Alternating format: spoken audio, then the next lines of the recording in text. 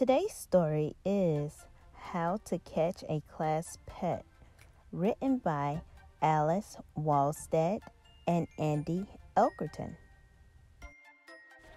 Summer was great and we had so much fun.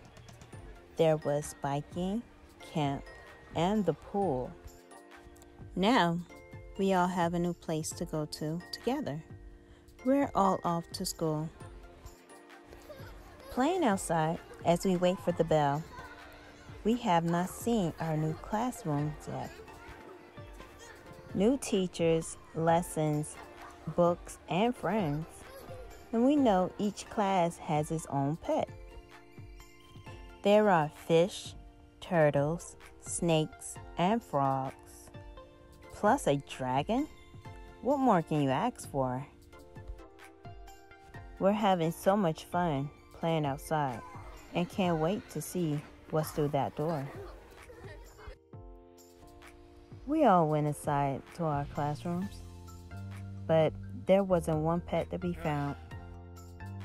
It seems they all watched us this morning and escaped for recess on the playground.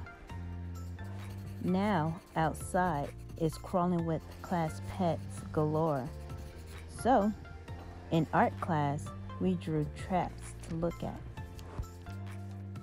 They figured out how to escape all at once. Who knew there was something called pet chat? Lunchtime came and we ran to the slide to discuss who would catch which critter. It looked like there were nine on the loose. Not easy, but no one here is a quitter. That's not a kid on those monkey bars. From here, it looks like a stick. But sticks don't slither and wriggle around. We'd better get over there quick. So many kids are running and jumping. Then we see a commotion on a slide. Something is rolling down from the top. Who knew that furballs could speed glide?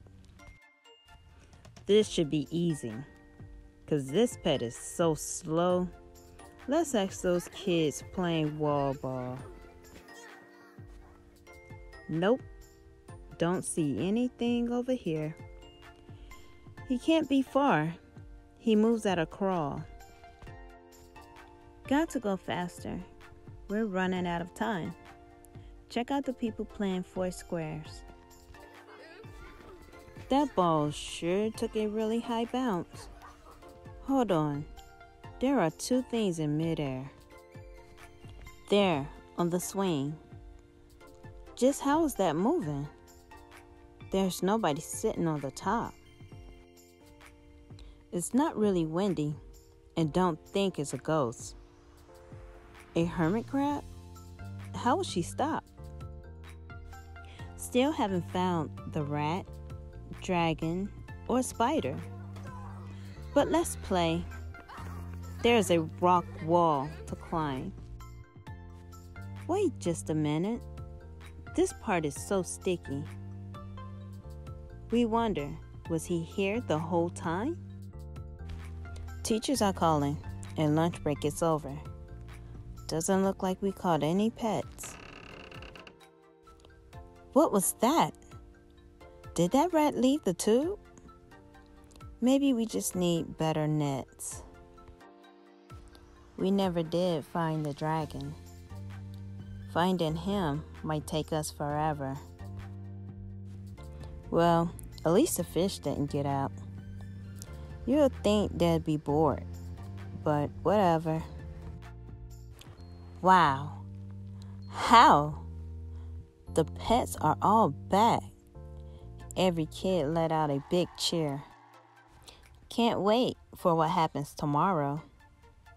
This is going to be a great year. That's all for today's story. Thank you for clicking on Science Reading Time. Please like and subscribe, and make sure to hit the bell to turn on your notification. That lets you know every time I upload. Thank you.